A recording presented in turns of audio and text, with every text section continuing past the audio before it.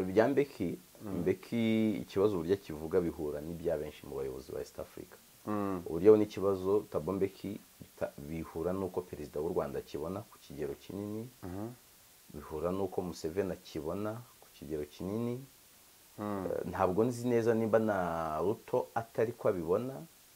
Ko ruto ntabwo njya ntabwo ndamusobanukirwa cyane icyo abona mu bibazo bya kongo nimba ari ukukibona nk'uko abandi bakuru b'ibihugu bakibona cyangwa nimba ari umuntu ufite pasono conflict na Tshisekedi. Ko Tshisekedi Kongo yazanywe muri East Africa na, na Kenyatta. Kenyatta ntibumvikana Tshisekedi yahaye Kenyatta. Ishoramari riteye ubwoba muri Kongo. Ko ntabwo wenda amusobanukirwa neza. Ariko uko akibona bitandukanye n'uko kibonwa na Tshisekedi bitandukanye n'uko kibonwa na Jacob Zuma bitandukanye n'uko kibonwa na Ramaphosa. Ijwi rye rishobora kugenda ariko ntirihagije. Eh, ntirihagije ariko mu minsi yashize twabonye ko hari icyo ryagerageje gukora.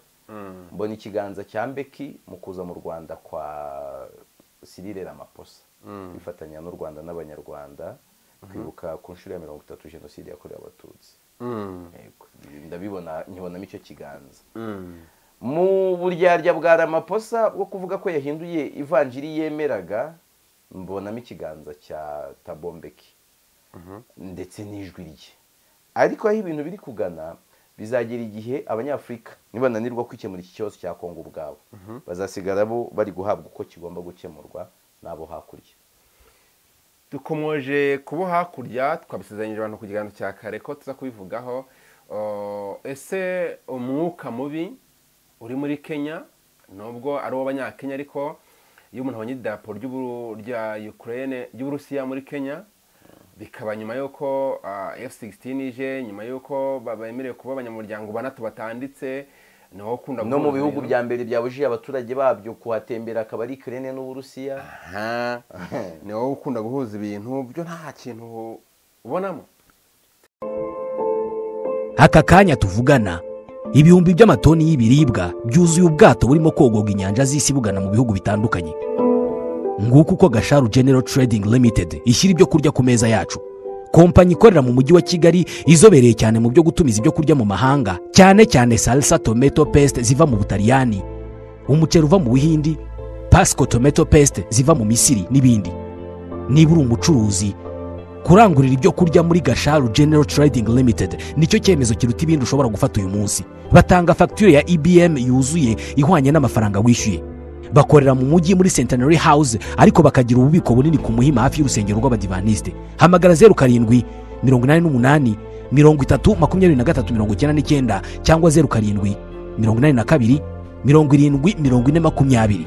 Ntabwo uzabyicuza. Ndabasuhuje mbahaye n'ikaze kuri nkwiye mu rugihe ive ofisho umuyoboro tuganiriraho amakuru ya politike mpuzamahanga. Nk'ibisanzwe ndi rukundo kiseva hamwe na ive nkwiye mu rugihe umeze neza. Cyane birambuye. Imana ibishimirwe kandi bisangize n'abandi bose dusangiye ubu buzima.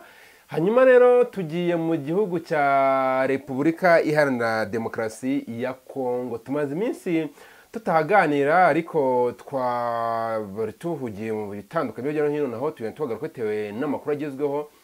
Nk'ubu mu bubanyi n'amahanga bwaho hari amakuru menshi. Nyuma y'ibiganiro perezida wa kongo felix Tshisekedi yagiranye na perezida wa angola hari amakuru avuga ko ngo ibiganiro noneho hagati ya kongo ndetse n'u rwanda abakuru b'ibihugu nibo bari ku isonga byaba ngo byegereje bitewe n'ibyo aba babiri baherutse kuganira. Tukiri ku biganiro kandi uwahoze ari perezida wa afurika y'epfo tabombeki yaganiriye n'itangamakuru avuga ko ibibazo byo muri kongo byakemurwa mu nzira ebyiri gusa ngo ni ibiganiro ndetse no gucyura impunzi bigasemburwa n'umusemburo mwiza wo kureka imvugo zihembera urwango.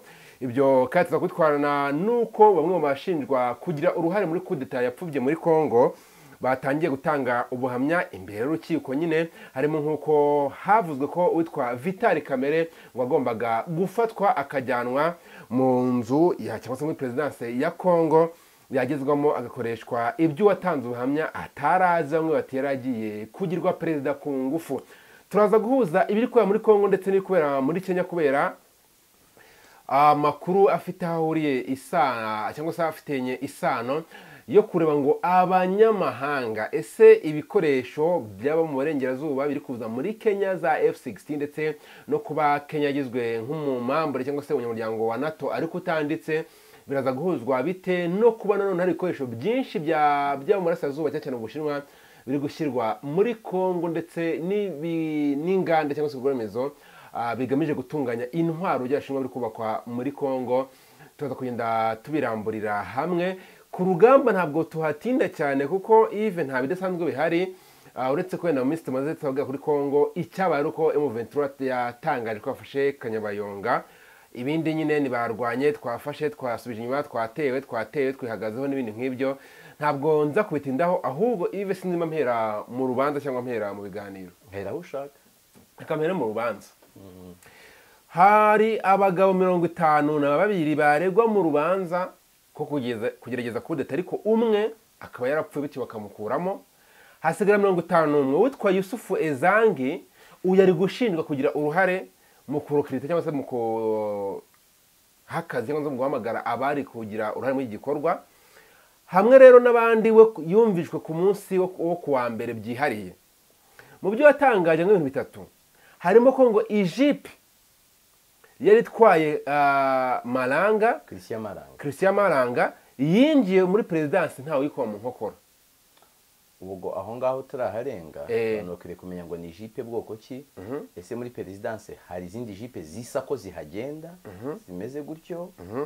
Cyangwa inzira zari zateguwe? Kuko hari ibintu bibiri. Eh. tugaruke muri uganda. Muri ya thunderbolt operation. Icyatumye bariya ba netanyahu yonatani netanyahu binjira bakagera mu kibuga cy'indege neza ntawe ubibasiye. Bazanye imodoka za benzi zisa nk'izo idi amin dada yagendagamo. N'akadarapo ka uganda n'akadarapo ka uganda. Si byo? Yari rwose pr- presidential convoy. Aho iyo jipe yinjiye muri perezidansi isanzwe ihakora. Niba itahakora si byo inzira zari zaharuwe zite twibutse abantu ko iryo joro ukuriye abajepe ba kisekedi hagaragaye amashusho ye ari mu gitaramo cya kofi olomide i kinshasa twikomereze. Abantu bakanditse buri kamwe tugende tu- tu- tu- tu- bamubajije mu rukiko bati uratubwira ukuntu wahuye n'ama- n'amaranga ndetse n'uko muziranye. Ati twahuye bwa mbere duhure i Londres muri bibiri na cumi na karindwi. Nyuma twari kujya duhura ahandi hantu henshi harimo nko mu busuwisi tuvayo tuza muri kongo kuriya baga i burayi. Twaje ambwira ko tuje mu bikorwa by'umuryango udaharanira inyungu ONG ariko ntabwo yansobanuriye neza ibyawo twaraje nza kwisanga turi muri muvuma yitwa niyu zayire ati twava yitwa mangayi ari bwo atajya kubona ati ku bundi poroje tujemo yitwa gute? Sinamenya amakuru tujya ahitwa rufu kasanguru tujya ahitwa oberge ni ho twahuriye n'itwa bubakari watubwije ukuri ko ayoboye genge asanzwe agifite naba ngo ni genge genge usanzwe ufite nk'agatsiko k'amabandi k'amabandi ariko gafite intwaro. Ibyo yabivuze afite intwaro zivuye muri angola. Ati uwo muyobozi wa genge yatubwiye ko ikiduhurije aho. Ari ugufata vitali kamere wari minisitiri w'ubukungu icyo gihe. Tukamujyana muri pare de la nasiyo hanyuma ngo tukamuganiriza. Aho yahise abazwa mu rukiko ngo mware kumuganiriza ibiki?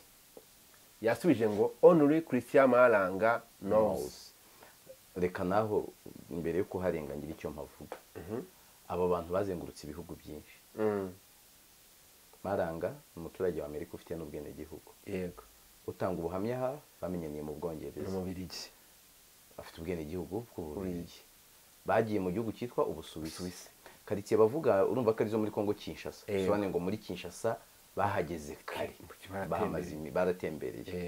ariko batera baturutse bambutse umugezi. Bavuye kongo brazzaville. Ni ukuvuga ngo iya deva evi. Mu ntwaro bavuga bari bafite harimo iziva muri angola ahigeze kuba n'ubundi andi mariberiyo y'abanyekongo. Ariko umubare w'ibihugu bya afurika banyuzemo urarenga uwo Eh, ukurikiranye neza wasanga mu bihugu byo muri sadek hari ibindi bihugu bitarangora banyuzemo. Bitari na congo brazzaville. Bisobanura iki rero ni urugendo rwari ruteguwe by'igihe kirekire kandi rutarimo impanuka. Ikindi umuntu mugiye mu butumwa bw'umuryango utegamiye kuri leta. Nikakubwira ntumubajije uwo ari we. Ntakubwiye viziyo na misiyo y'uwo muryango. Uri umuntu w'umunyaburayi aho twizerera ko abantu baho bajijutse. You can't even take amasegonda angahe ngo ushake kuri interineti uwo muryango umeze ute? Umugani wa wa musaza w'umubirigi wibera muri amerika waje i burundi akisanga ku matara y'i kanombe. Ariko we nibura ubutumwa n'uwo bari kumwe ntahakana ko ubutumwa bwari ubw'iyobokamana. Ahubwo uraza mu butumwa bw'iyobokamana usanzwe uri umupasiteri ku ruhe rwego? Wasigiye amavuta. Usanzwe uri umubwiriza wuhe no mu gihugu kivugwamo ko umutwe wawe w'inyeshyamba. Ubamo. Ubamo. N'ibitero uheruka kugaba ku rwanda ariho wavuye. Yaba ari utuntu twinshi abantu dusimbuka tutitegereza nko kuvuga ngo umuntu ashobora kubona yarabaza ati ubwo butumwa ndabwifashisha. Binyorohere kwimanukira no muri iyo private jet wenda ngewe iyo nza mu buryo bwanjye byari kwitwa ngo araje araje bikateza ikibazo kiri diplomatike urumva? Ariko ubwo nta kibazo kiri diplomatike biza guteza reka manuke nemye hahire rimwe. Sibyo? Arahaje anaberewe arahageze. Biba ibindi noneho tu- tubihuze n'aba bo muri congo Eh. ugeze inyuma bakubwije ukuri. Ni agatsiko ka genge. Bakuprezantanye imbunda. Wakoze iki? Eh, ivi what did you do? Wasubira inyuma se? Wavuga ngo- ngo niviriyemo nakusobanuriye ko abantu bagize amahirwe yo gusohoka ahantu henshi. Kandi bagiye mu bihugu bitandukanye. Ntuze kumbaza ngo ibihe ariko banyuze mu bihugu bitandukanye. wakoze iki? Ntabwo abavuyemo nta kibazo. Eh. usimbuke Eh. ni ikibazo ngenda umushinjacyaha cyangwa umucamanza namubaza Ah, bamaze kuguperezanta poroje nshya. Urumva ukibakanya gusa ndimo kandi bazizanye mwatangiye iyo bigeze ku kintu cyitwa yari inzira ucamo ukagera ahantu utaba kivuze ngo ntabwo ndi bita ngo no Eh, sawa. Icya kabiri rero. Bageze kwa vitali kamere bati vitali kamere twagombaga kumuvana iwe. Tukamujyana mu ngoro y'umukuru w'igihugu. Yego. Akagira ibyo ahabarizwa Eh, kumubariza iwe ntibishoboka. Kuki abarizwa mu, ngoro y'umukuru w'igihugu? Nta handi yabarizwa. Kuko mu ngoro y'umukuru w'igihugu ni ahantu hari risike nyinshi kurenza ahandi zo kwicwa uhagana. Yego. Ntabwo ari ahantu umuntu aza gukinira amajongire n'amanota. Mhm. none niba ushaka kumubariza Mm. hari icyo kwibaza rero. Vitali kamera ubwo ntiyari kugera mu ngoro y'umukuru w'igihugu akagira ibyo ahatangariza bakamufatira the point of gun at the point of gun bakamubwira ati tangaza. Sinzi ngo yari gutangaza iki. Byaba guhirika ubutegetsi byaba kuvuga ko ubutegetsi nta kigenda. Ni iki? Twibutse abantu ko ibyo. Njye ndi kumubona nk'umuntu ari kuhatangariza kuri kamera kandi kurenza uwari kuhabarizwa. Mm. maze ibyo byarangira. Twibutse abantu ko vitali kamere hari mu bantu bafashe Tshisekedi kugera ku butegetsi. Mm. Tshisekedi yari umuntu abantu benshi basa nk'abatazi muri politiki. Sibyo? Nimba ivuga gutya abantu ntibangire ngo "Eh, ngo dore ngo yatorewe ko umudepite ngo igihe iki n'iki yahawe izi nshingano. We Mm, mm. ndanabizi rwose ko isi atangira ishyaka Tshisekedi arabizi. Avuga abantu bamukerensa kubera imibereho ye yo mu bubirigi icyo mvuga ngo ntibari bamuzi yari umuntu wibereye hanze cyane kandi kongo bijyanye n'uburyo bavuga ati umuntu afite yarabaye iki- baba bashaka umuntu nyine umetiriza situation y'ibintu biri aho ngaho. Mm. bamufataga nk'umuntu rero situation y'ibiri aho utabiheruka cyane. Waba utakibyivangamo cyane. Ariko Vital Kamere yari umuntu w'indanaho icya kabiri ushobora kumufasha muri influence. Ase d'ambisiyo ze ziri personnel. Zo kwiyamamaza nka perezida ahitamo kumujya inyuma Mm. kandi nikikwereka ko Vital Kamere afite icyo yaraziranyeho na ba Kabila. Ntabwo yari kwemera guseda atabizi neza ko Tshisekedi azaba perezida. Ndakubwiza ukuri. Yari abizi we na ba Corneille nanga na ba Kabila. Barahageranye. Ni umuntu wa mbere bashwanye aranamufunga aranakatirwa ariko hagira igihe ubanza nimba yarakatiwe nimba atakatiwe simbibuka ko yamazemo igihe aza kuvamo. Avuyemo mu bwiyunge Tshisekedi ashaka kwiyunga n'abanyekongo amugarura impande ye. Mm. yazanye na bemba. Sibyo? Ariko nous avons tumwe byeri il faut kariyo ehe sibyo? Yego. O- ntabwo wowe wari umutego wo guca abanyekongo mo ibice bibiri. Cyane. Icyo mbona rero ni iki? Kamere yari kwicwa cyangwa ari kugira hariya agatangaza ibiteye ubwoba kurenza kuvuga ngo kumubaza kumujyana hariya kwari ukumwica cyangwa gutuma atangaza akari murori yakomeje. Ati rero mbere yuko tugera kwa kamere hari bisi rimwe na mirongo itatu isanzwe ari iya kampani yitwa ngo ni spirit of life. Sinzi aho bayikuye ati imbere yayo hari ijipe irimo umuyobozi. Twabanje kujya kwa jean pierre bemba amakuru ubanza ari mashya. Dusanga ntawe uhari hanyuma tukajya kwa kamere. Ngo kamere yari yihishe mu mwijima turamubura. Ariko nta muntu wiciwe aho ngaho. Hanyuma rero twinjiye ku ngoro.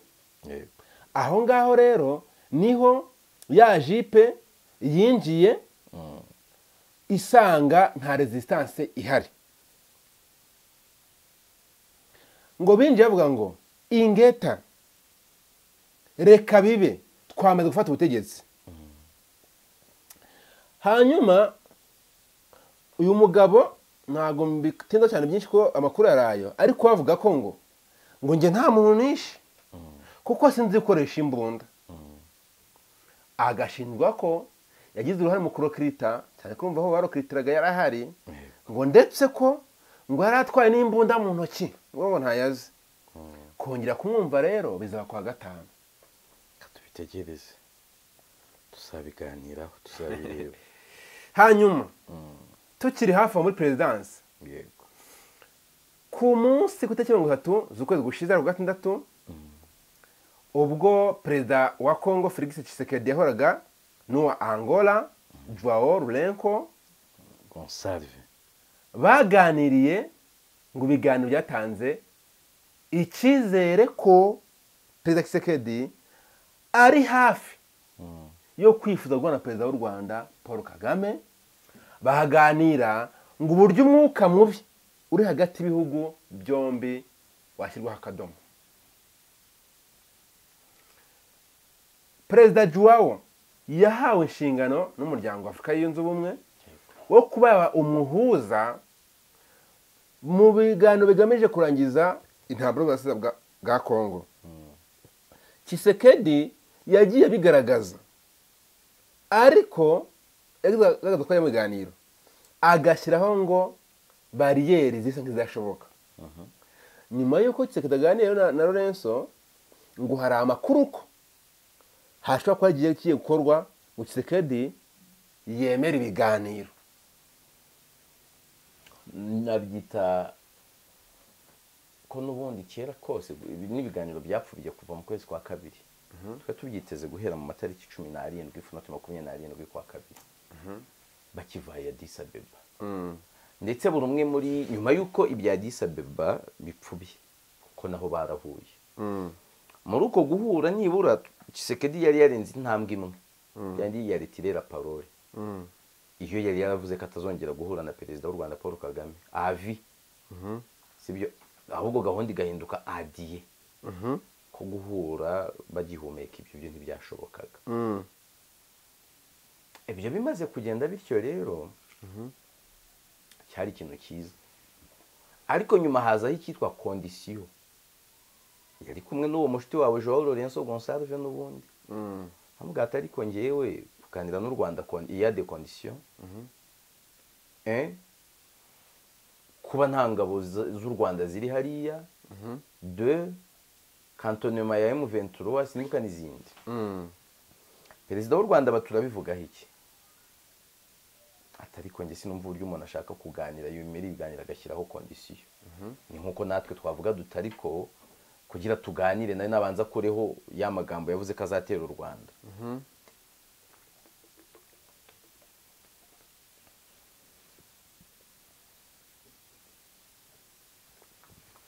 Nyuma yaho nk'uko ibiganiro wishwe n'iki intambara muri kongo yarakomeye kandi iyo ikomeye niko amaso ya kongo arushaho kureba u rwanda.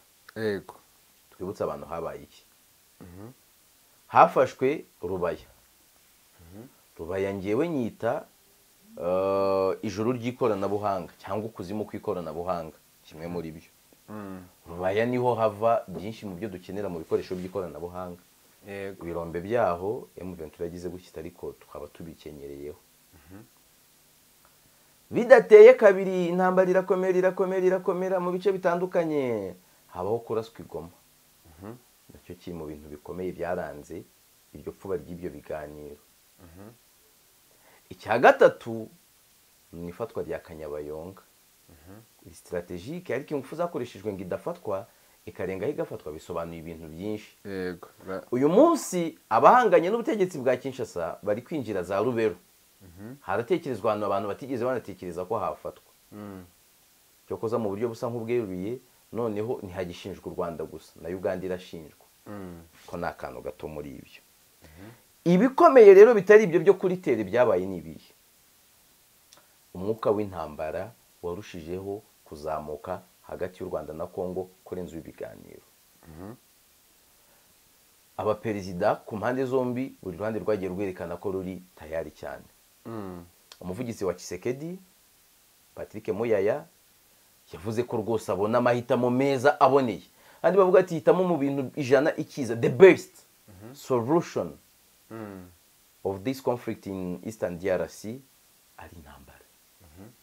Kisekedi ari muri mu bufaransa kiganiriye n'ibitangazamakuru byinshi avuga ati ariko gahunda yo kurwana n'u rwanda iracyahari. Sibyo yego. Ni amagambo yari yaravuze kenshi duheruka yaheruka. Mm. n'ubundi agisubirwamo. Ndetse no mu bikorwa ibyo mbona imyiteguro yabyo. Magingaya ubu tuvugana Mm. makumyabiri ku ijana by'ingengo y'imari y'igisirikare cya kongo yamaze kuba roketedi mu gisirikare.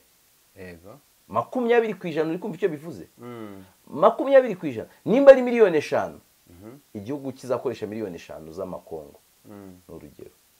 Oya icumi. Makumyabiri eh, miliyoni icumi ebyiri. Ebyiri. Ebyiri.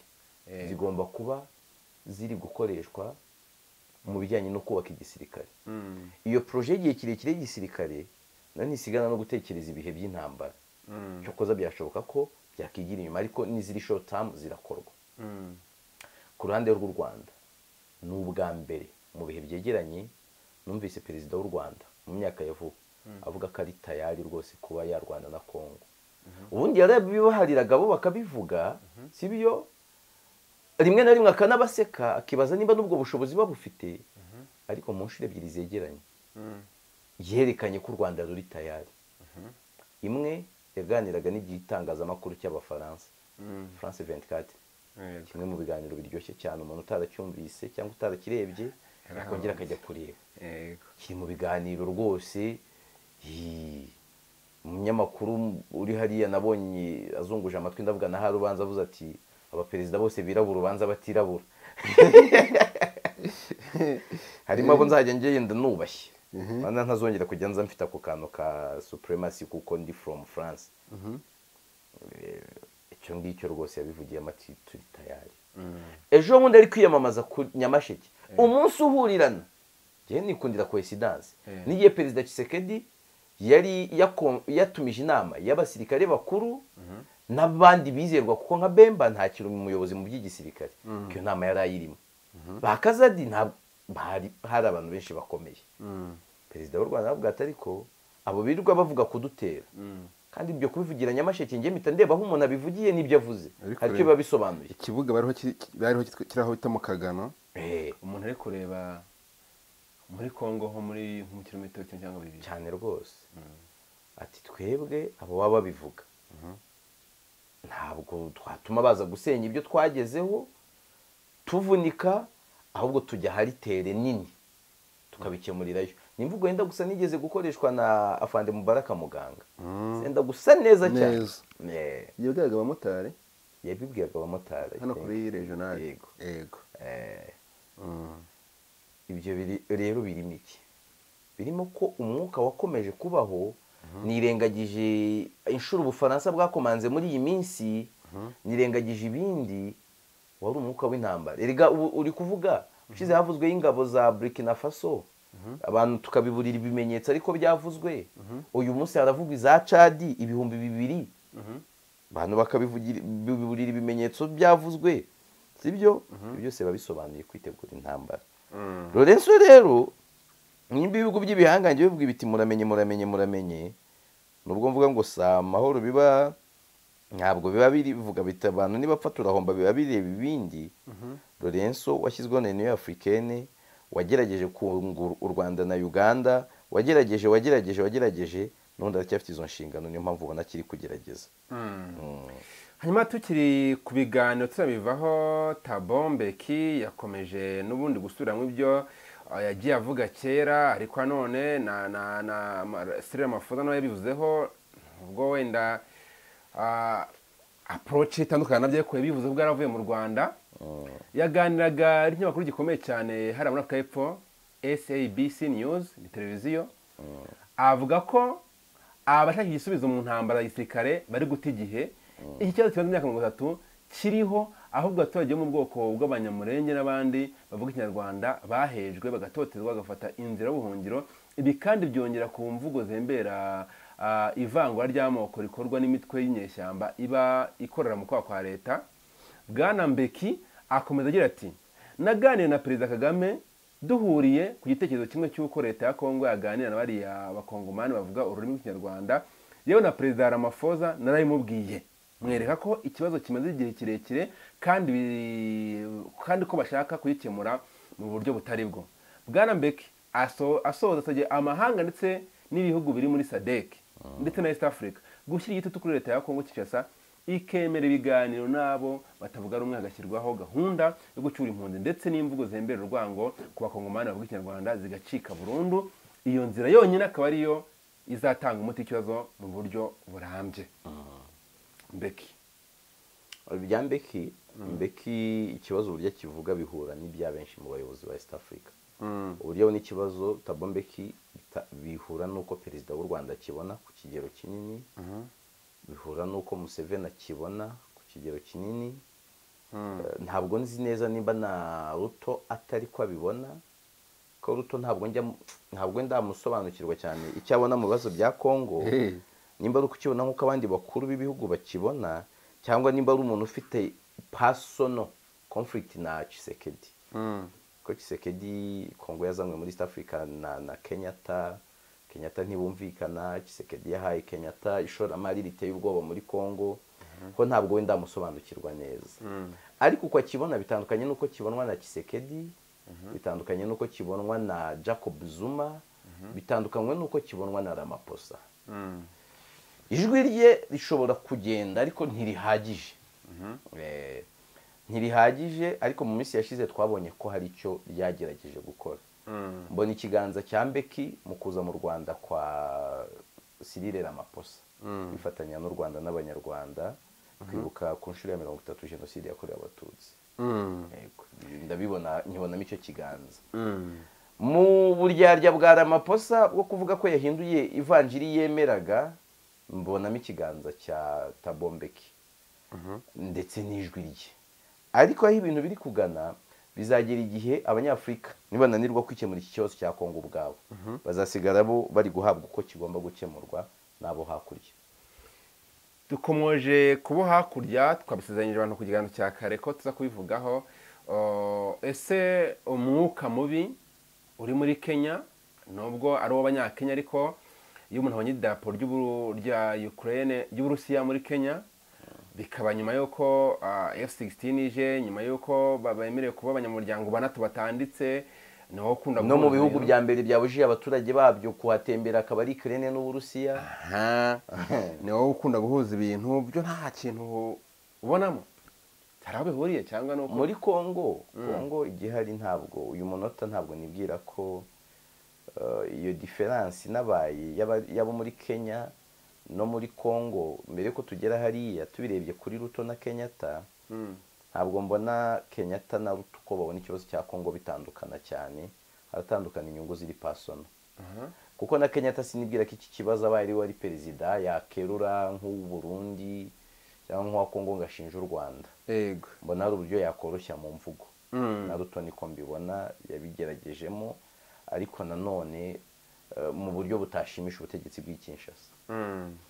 Kuba rero hari iryo hangana noneho abo hakurya no hakuno bose baza kubikoresha ibyo ntibyabura. Ntabwo wambwira ngo uyu munsi kongo irabona niba amerika yatangiye kugorana na kongo nanone kuko ngewe ni icyemezo ifashe mpita mbona amerika cyane. Mm. uze kureba ku bijyanye no kugura intwaro ngo kongo bi- bimeze gute. Ntibaherukaga kuyivaniraho ibihano ku kugura intwaro. Suni urabona kongo yongeye gufatirwa ibihano ku kugura intwaro. Biraza guturuka he kongo iri kugura intwaro he Mm. Eh? Zigura mu Burusiya mu Bushinwa cyane mu Bushinwa kwanza nta gukeka Ubushinwa. Uburusiya, Ubushinwa, Uburusiya ni Turukiya. za Sukhoi ni za Turkish ni za Chinese Yego. yego ibyo biraza suni urabona kongo yasubiye mu bihano byo kugura intwaro kandi ibyo ntibishobora kuba hatari amerika Mm. ariko se ibyo kuzigura nifatirwa ibihano no kuzihabwa cyangwa n'abazavuga bati kwaje reka zize mu ibanga rikomeye. B'abarusiya na byo amerika izitambika n'abashinwa. Wahoze umbwira amakuru y'uburyo ubushinwa bwatangiye kuhubaka inganda zikora intwaro? Yego. Umushinga watangijwe na Jean Pierre Bemba. Wo kubaka. Wibuke ko n'uruzinduko baherukamo rufite agaciro ka miliyari zirindwi z'idolari mu bushinwa Tshisekedi yari yajyanye na bemba. Wibuke ko uburusiya bushaka kububakira diviziyo eshatu za gisirikare zikomeye hakaba n'ibirindiro bimwe by'uburusiya bya gisirikare. Mm. none se kuki byatugora kubihuza? Mm. imyigaragambyo yo muri kongo itangira bari bafite amabendera y'uburusiya bavuga ati uburusiya dutabare. Imyigaragambyo yo muri Kenya. No muri kongo niko yatangiye. Eh eh ni byo ariko. Muri kongo eh. Dutabare no muri kenya bikaza uko. Ibyo bikaba kenya imaze kuba umunyamuryango wa utanu utari mu mpapuro. Wo muri afurika Mm. twibutse abantu kenya ni ho hari manda bay. Ibirindiro bya mbere by'abanyamerika bikaze muri afuricom Mm. ibyo byose kubihuza nta kosa mbibonamo. Birahura cyane bikiyongera ku ntambara y'amabuye y'agaciro. Kandi amabuye y'agaciro muri congo abashinwa muri ino minsi mu buryo bweruye. Mm. bari gucura abanyamerika. Kobaliti irakenewe cyane umushinwa yihariye mirongo irindwi. Nako rutaru- ararusha abandi. Ibibazo bigasigara kuri diyama na zahabu n'ibindi ariko ibyo byo hari n'ahandi abanyamerika babikura biri muri afurika buriya zahabu nyinshi muri afurika iri mu burengerazuba bwa afurika kurenza muri congo. Eh, zahabu nyinshi ni hiri. Ibyo rero bigahita bihinduka ikibazo kigomba kubahanganisha nyine hariya naho hakaba hakaba amapenaliti menshi. Reka dusigaye tubihanze amaso dushimira twabanye duhura mu biganiro biri imbere. Mm, bakoze cyane